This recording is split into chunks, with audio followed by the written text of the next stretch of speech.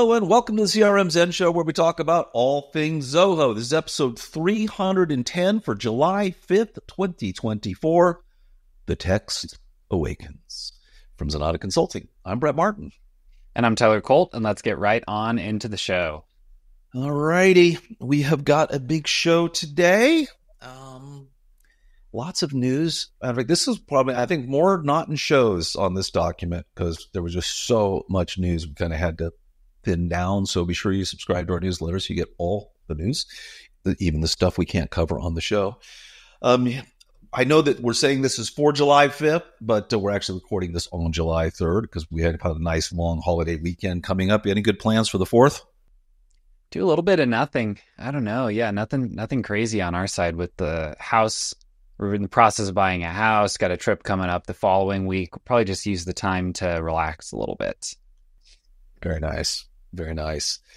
I am jumping on a plane heading back to California for a couple days, so get out of the 117 degree heat here in Las Vegas. Makes sense. Yeah. It's a little bit better. All right. Well, with that, um, are we going to run an ad? I guess we'll run an ad and then get right on into the news. Junk data can clog up your CRM, making it harder to focus on the records that matter.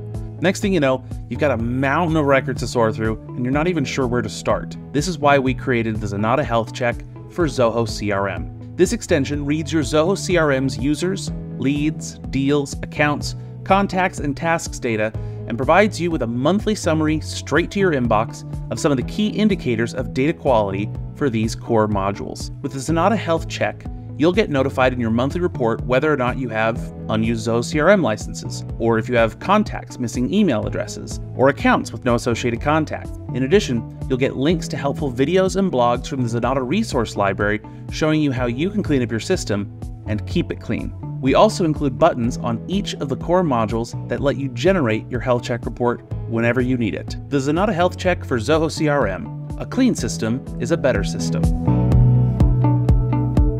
Download today on the Zoho Marketplace.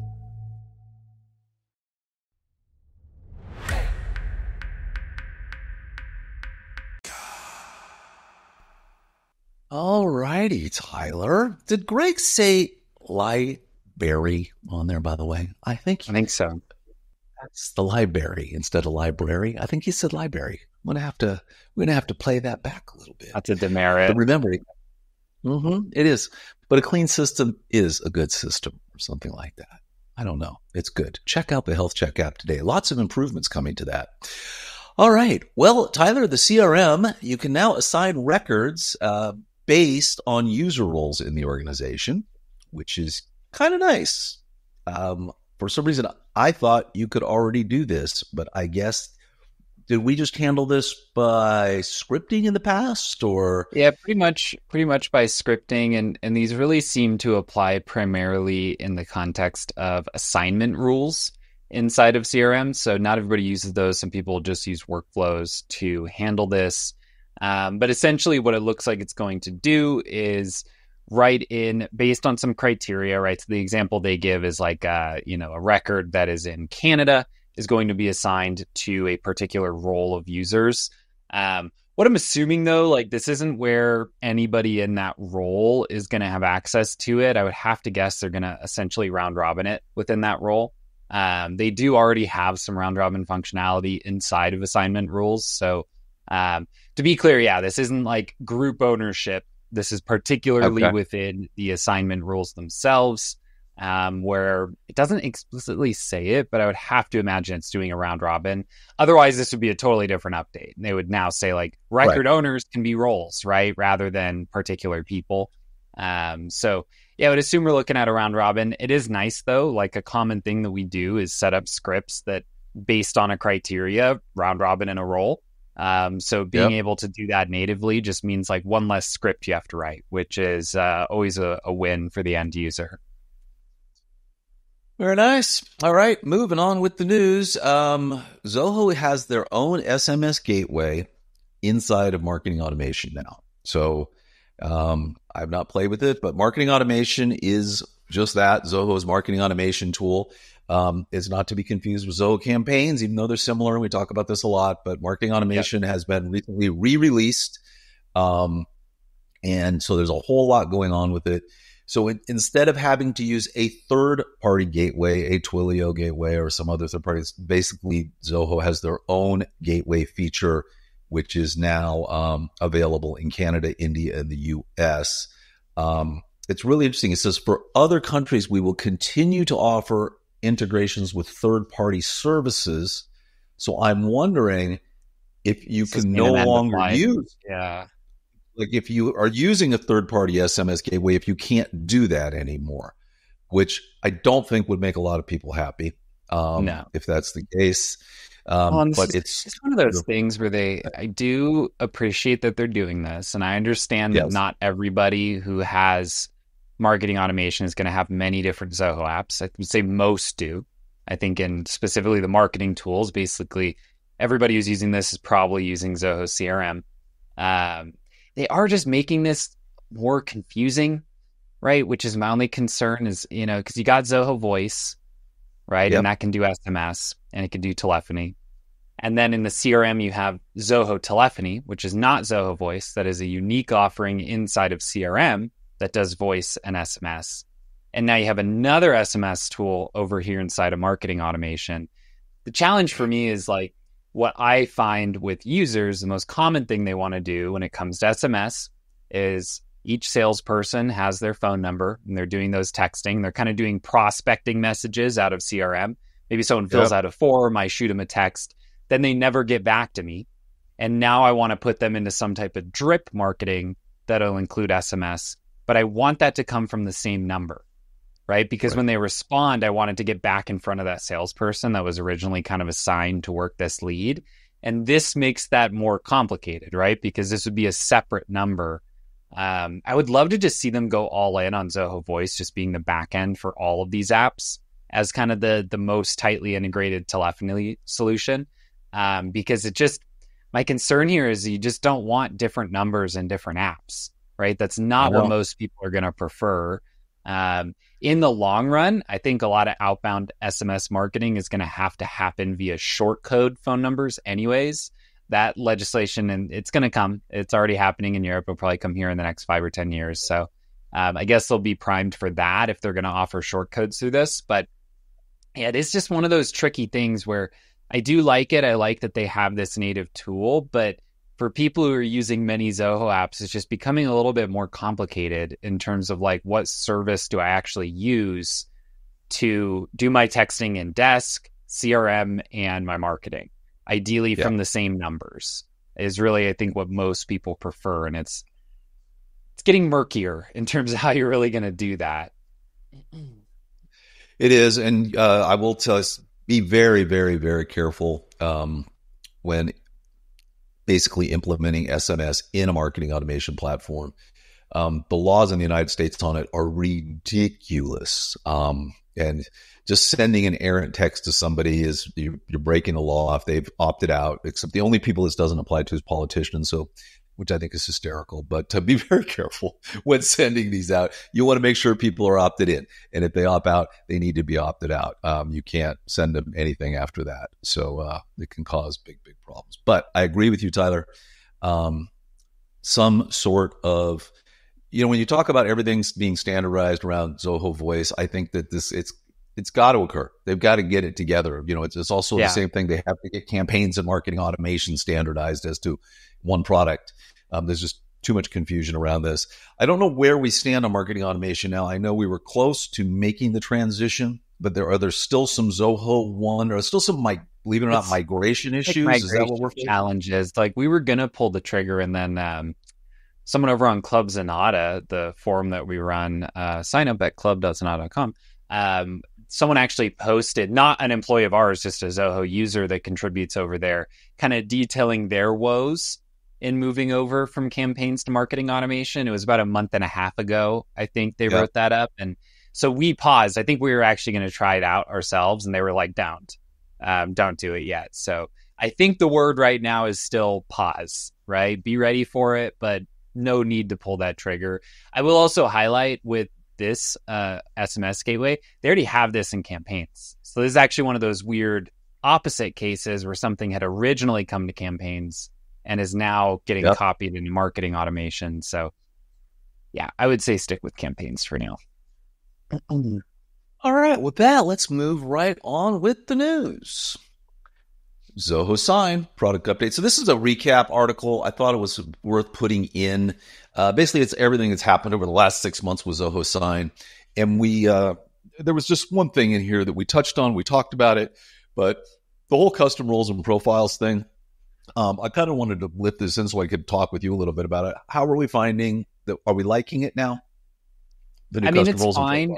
There, there's like a couple. These are really specific uh, criticism that I have around it, where like it does require like a lot of putting users in into particular groups that you can't do when you initially onboard them from like a Zoho One perspective.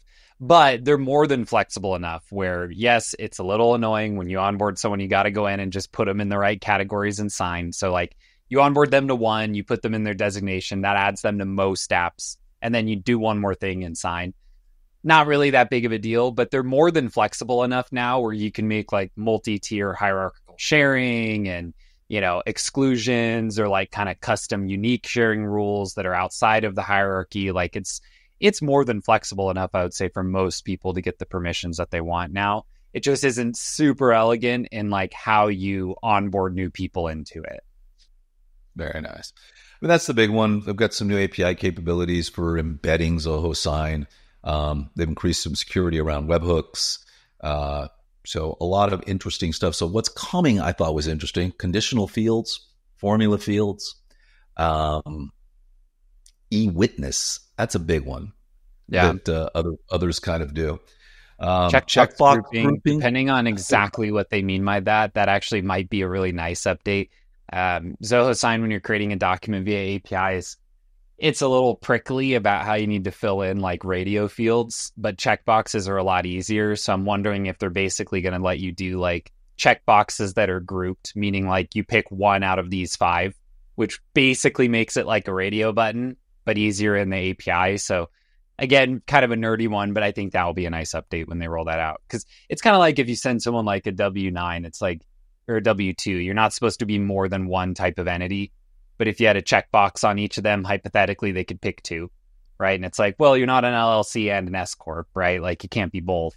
Um, so those types of things will be nice with checkboxes. Actually, you can be both. It's kind of weird. But yeah, bad example. All right, and moving on on the world of sign, and just for the heck of it, evidently a couple of days ago, I guess uh, four or five days ago, uh, was National E-Sign Day everybody needs a national day. What I thought was interesting about this article is it was 24 years ago that it was made illegal, that was made legal. Um, it just seems like it's been around a lot longer, you know? Yeah. But uh, so basically, in the year 2000 is when you could legally sign a document electronically. That's pretty, uh, pretty crazy. Um, Anyway, nice job. And I think there's an error in this. So I was just pointing out, it says you pride yourself that you now have 40,000 plus businesses across the globe using it. I think there's a zero or two missing there. So we got 125 yeah. million users and way more than 40,000 plus businesses. But anyway, uh, happy National E-Sign Day. By the way, if you ever want to get your own day, there's an organization for it and they charge you. Anybody, you can do any day you want. Really? But you have, you have to pay them a fee. Yes. yes. But uh, there's got there should, we should start a competing organization. You know, there you go. Yeah, real National Day. You know, and uh, charge half their prices, like five grand, something like that. It's crazy. Anyway, moving right along. Um, in Zoho Writer, you now can add watermarks to your documents. You could kind of do this. You kind of take an image, you can make it behind the text. There. Yeah. You could fade it back. But this is an official watermark tool that exists yeah. inside as a Zoho Writer. That's all it is. So if you want to do something pretty, make some nice little watermarks on the back of your document. Um, knock yourself out. I would say like a nice one here is like we will have clients who will send someone kind of like an example proposal before they yep. go and they do the full technical scoping process. So adding to that template some watermark that's like, this is not the official proposal, right? That kind of like repeats in a certain area. I could yep. see the use case for that. Um, and yeah, there's always been a way to do it, but it's been funky. So just having like a native way to manage watermarking is, um, again, a lot of people go, I don't need this. That's totally fine. But I'm sure someone out there is super excited because uh, if it's part of your workflow, it's now just handled uh, a lot easier. Look good. I mean, it looks nice too sometimes. So I see companies' logos faded back there. I mean, it's a nice way of doing things. So um, you got watermarks. There it is. I always thought that was already there, but now it officially is. So go get yourself uh, some Zoho Writer. Groove on. Um, also in Zoho Writer, uh, they are changing the way that uh, you are inserting images from URLs. It used to be that every single time you open the document, it was fetching the image again from the embedded URL. It's not doing that. It's fetching it the first time and it's storing it locally in the document now. So, so this is nice for load speed, but yeah. not great for things that change, right? Like a lot of the times, what we'll tell a client is like, make sure to do your images as a reference URL so that if they change, it'll be updated in the document right away. Um, right. Looks like that would not happen now. So you would need to go in and actually change the URL merge to get it to kind of like refresh um, that image. But it's not going to affect documents that were created before June 5th okay. 2024. So if you created your document a month ago, you're okay. Yeah. Those gonna, but going forward, I guess it's going to do this. So um, there you go. Moving right along.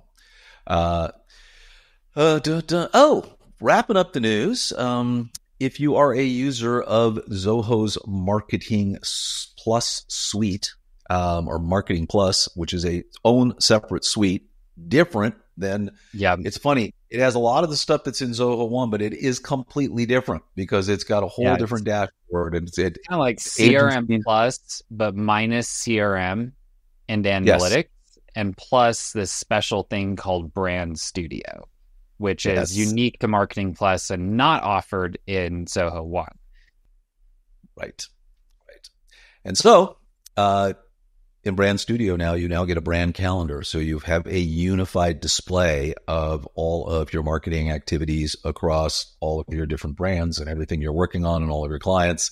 Um, so very nice. Yep. And do you just know? So again, just to, this is not going to be supported in Zoho One. So you do not get the brand calendar there as of right now. Um, right. I'll tell you, bundles, man they get so tricky with the bundles. I oftentimes on sales calls will have to pull up our website and go to the bundles section just to like remind myself what exactly is in each of these because there's so many and they're so diversified at this point. This is basically for agencies. So if yeah. you are a marketing agency and you are handling social media and all kinds of other things for a bunch of different clients, this is the application for you. Um, it actually is exceptionally um, well priced considering all it does for an agency. You could run an entire marketing agency on this on this bundle uh, and have CRM on the side, which you would need. but other than that, uh, very good. So, and with that, Tyler, uh, I guess uh, let's go take a look at our implementation of the week.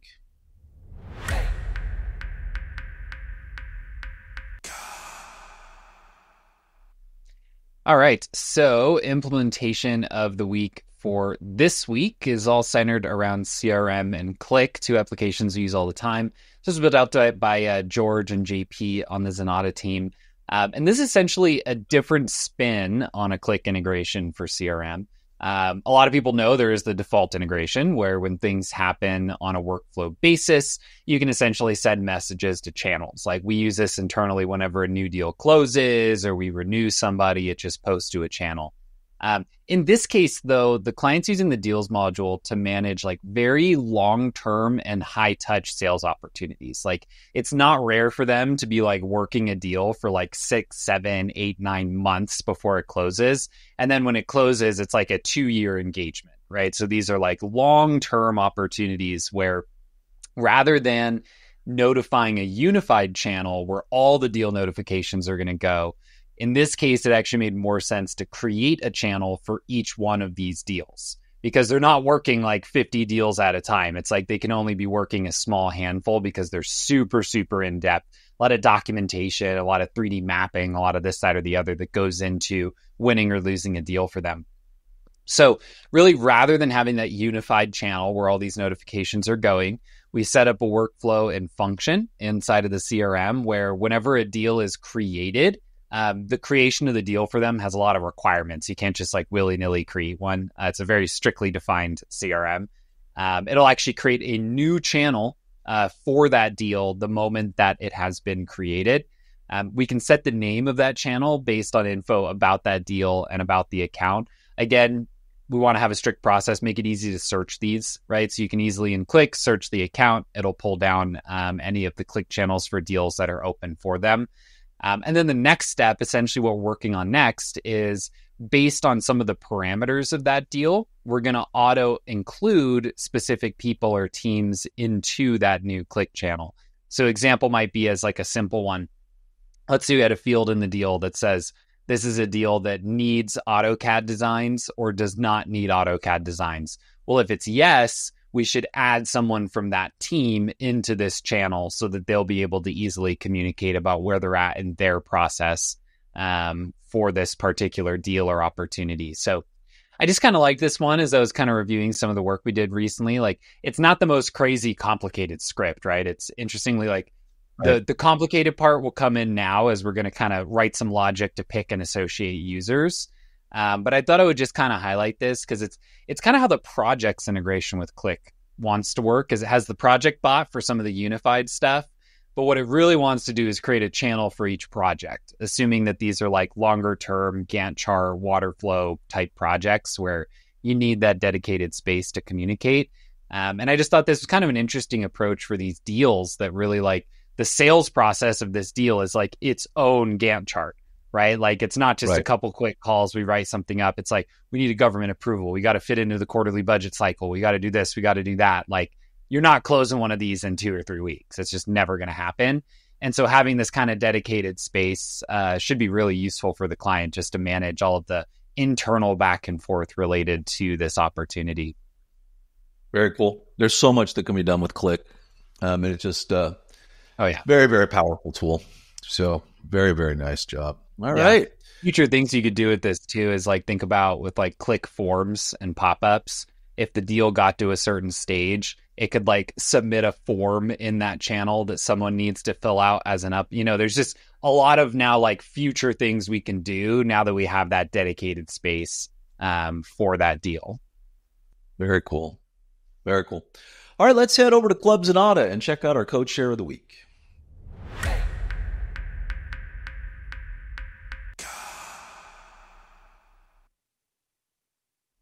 This will probably be a very popular code share. Um, we get asked this a lot. Oftentimes, when people are moving to Zoho, uh, they might move to Projects Desk, CRM, they're doing all that, but they're not leaving QuickBooks Online. They're, yep. they're that's not never, never, never going to happen.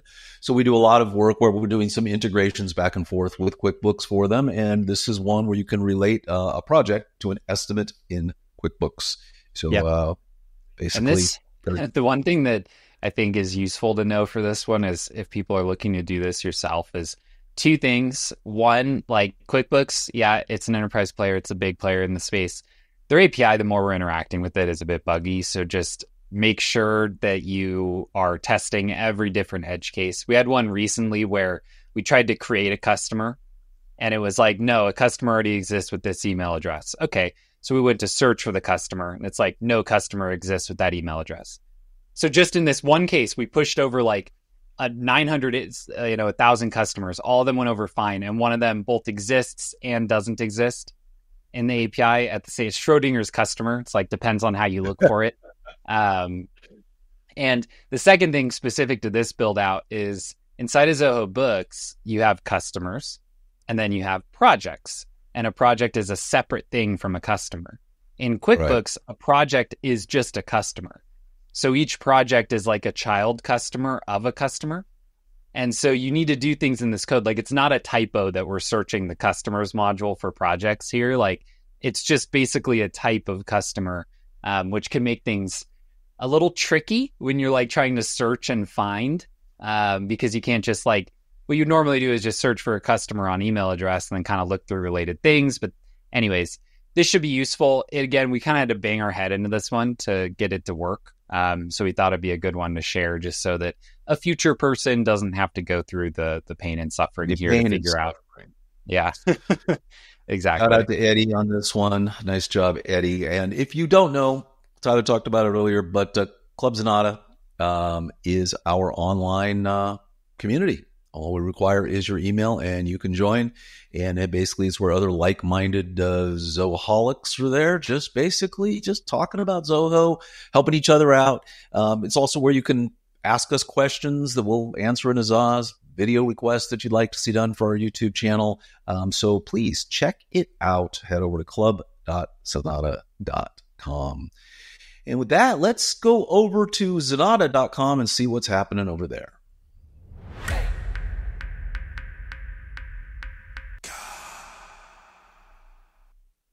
Well, Tyler, speaking of API integrations and doing such things, uh, we have an article on basically the things you need to know before you're going to start doing a third party API integration. So, really, this is Yep. just think of this as your checklist for everything that you will want to have at your disposal or know what you're doing before you actually go into it. So, what's your authentic- authentication, uh, credentials, your API keys, where you're going to get them, data flow, which direction is it flowing, um, basically all of the various things you need to integrate with Zoho. So a quick little article. It also references quite a few of our little resources around this as well. So uh, Yeah, and one of the big out. things here is all the way up at the top. The first thing it asks is, is there public API documentation? I always just like to mention this, and I, I talk to prospects about this, is when a, a software company makes their API public, it means they are confident in it, right? It is a marketing tool to have a good API, right? Correct. Because people like me and you will go and evaluate these things and then recommend them or not recommend them accordingly. So when somebody hides their API documentation behind a login that you can only get to once you've paid, it's a red flag right off the gate. Now, occasionally they do it because it's super private, it's a really special sauce tool. Okay, there are extenuating circumstances where it makes sense. But if you're thinking about purchasing a new piece of software and integrating it with Zoho, if you're having a hard time getting that documentation from them, that is red flag number one because it means they don't think it's good because otherwise they'd put it out there because it's a marketing tool, right? Like having a good API sells products. So I always just like to highlight that when we're talking about integrations, where when I do that Google search and it comes up and they're just got everything documents, like, cool, they're confident in this, that they want you to find this documentation. And if they're hiding it, it can sometimes mean that they're not super proud of the API that they offer. Yep. All right. I mean, that is oftentimes the thing, right? You're sitting there talking to someone and they ask you, hey, we want to integrate with this. And I know exactly what you're saying. So you go, oh, I've never heard of that one before. And you go over there and, Yep. you know, well, they don't really say. so you were going to have to find out. Uh, all right. And now let's head over to YouTube and check out our tip of the week.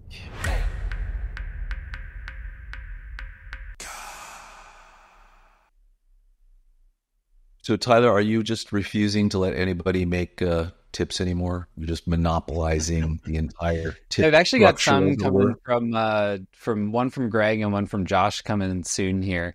Um, honestly, it's just Freddie's made it so easy with all the back end tools to record these things nowadays that it's like, you know, a call gets canceled. I've got 30 minutes. That's all it takes at this point because I can just, you know, spin up and go. So this quick video on setting up taxes inside of Zoho Books. Um, recently, we did partner up with Avalara to kind of be one of their choice partners for Zoho implementation. But um, Zoho Books can calculate taxes for you natively if you set them up. Um, so I kind of go through it in this video. Really, the takeaways are what I kind of learned in preparing for this video and then in recording it is that if you're selling in like multiple states, cities, counties, like just get Avalara. Um, it's going to require Yeah. a lot of setup. Like you can do it, but you know the you might have like a, a federal sales tax, a state sales tax, and then like a city or county levied sales tax on top of that. And so Right. even if you were just selling in like Ohio, you might be paying different taxes for Cincinnati, Dayton, um, Columbus, right? Like the they could all be different. Um, so Yes.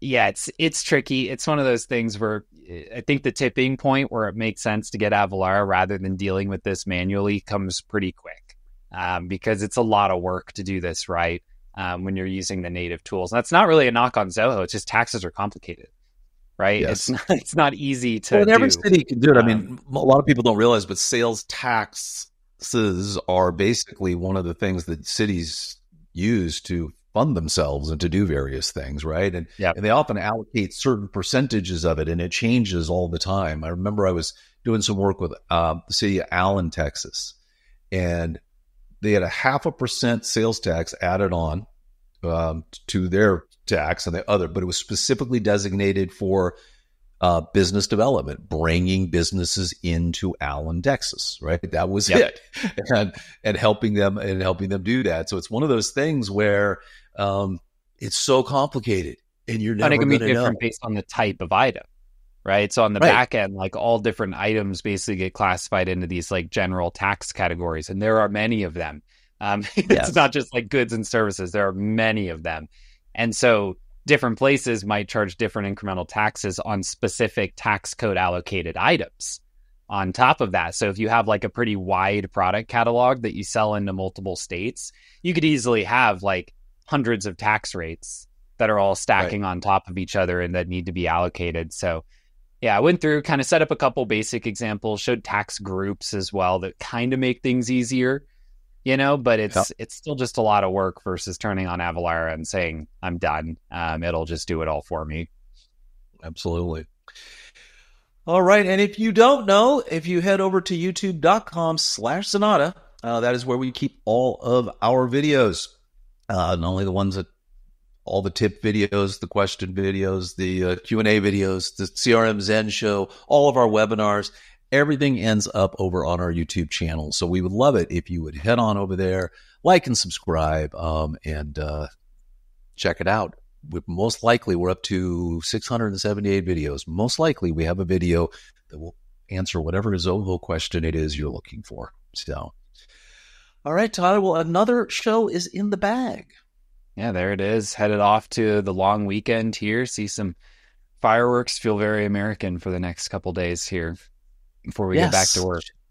It should be good. I'm jumping on a plane here and going into a nice little 30 minute flight into John Wayne Airport. so Very be nice. quick. Uh, yeah, and off we go. So, all right, everybody, we'll have a great. Hope you had a. By the time you're listening to this, hope you had a great uh, holiday weekend. And as always, if you would like to talk to us over here at Zenatta, please head over to zenatta.com and click on Book a Meeting. On the website is also where you'll find complete episodes of the show, as well as links to all the stories we discussed today. If you want that news delivered to your inbox every Monday morning, be sure to subscribe to our newsletter. And last but not least, we always appreciate when you like and subscribe here on YouTube, as well as your choice of podcast app. We'll see you next Friday. Take care, everybody.